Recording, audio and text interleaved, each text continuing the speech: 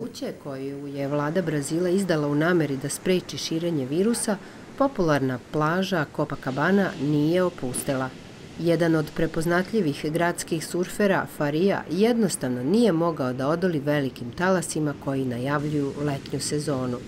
Međutim, njegova dnevna rutina ovoga puta će skupo da ga košta. Nakon što je uživao u nekoliko talasa, policajac ga je pištoljkom pozvao napolje i odveo u policijsku stanicu.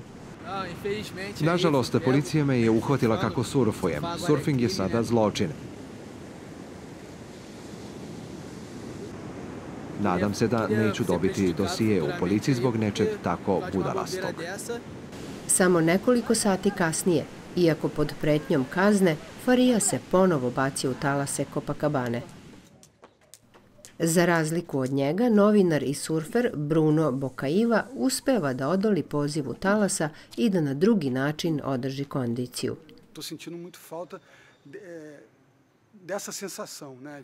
Stvarno mi nedostaje taj osjećaj da sam u vodi, ili da veslam ili da se spuštam niz talas, da se dok surfujem povezujem sa prirodom u tom tako intimnom činu. Ali svestan sam da je sada vreme da se misli na zajednicu, tako da potiskujem svoju žunju i čekam taj talas, metaforički govoreći, u bliskoj budućnosti.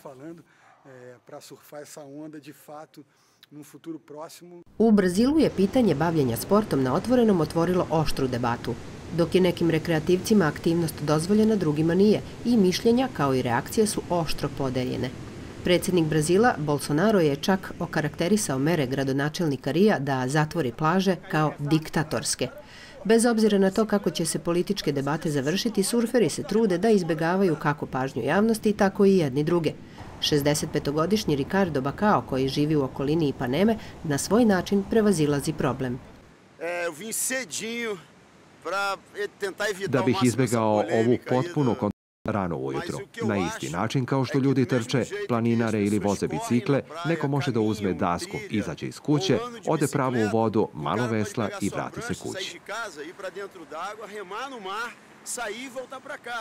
U Ukrajini također je uhapšen jedan zaljubljenik u sport, jer nije odoleo sunčanom vremenu koje ga je namamilo da pliva u reci Dnjepar.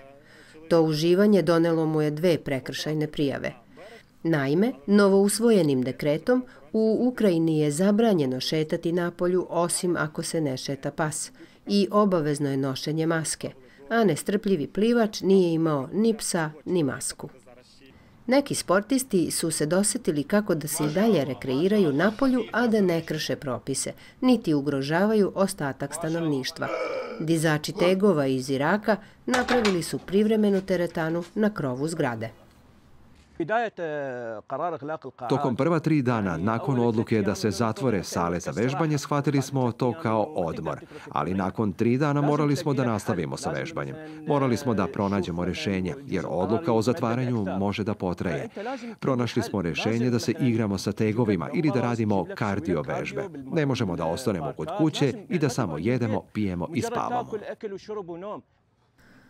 Ova dva momka se nadaju da će svojim primjerom potaći ljude da malo razmisle i pronađu alternative za sve ono čime žele da se bave da bi ostali u formi, a da pri tome ne prave prekršaje.